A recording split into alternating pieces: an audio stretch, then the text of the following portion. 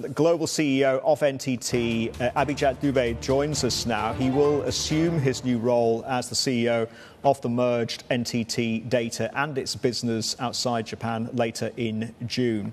Abhijit, great to see you and a very good morning to you. Let's start with what NTT will look like in the AI era and how are you positioning the business?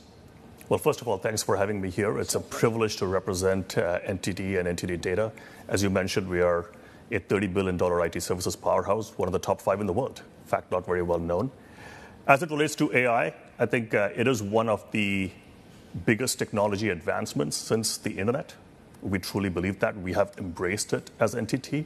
So, what that means is we have to reinvent everything we do internally in terms of how we work. And we also have to reimagine everything in terms of products and services that we provide to our clients. And with that, our belief is that we have to do it responsibly. We have to make sure that we democratize AI and we give customers choice. So the big areas for investment for us, we already are the world's third largest data center provider, and we power the cloud today. We want to power the AI infrastructure of the future.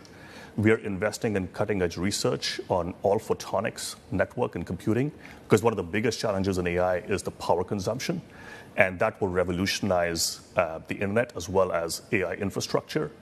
And then, of course, we are um, investing in our own large language models, which are significantly less uh, power consumption hungry and very lightweight, but almost similar performance to the big ones that we know about. And we believe in choice. So we will support all sorts of large language models, all sorts of infrastructure, so that customers have a choice.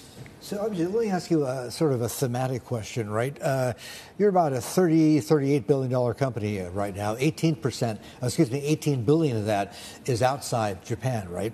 Which leaves a big chunk still in Japan.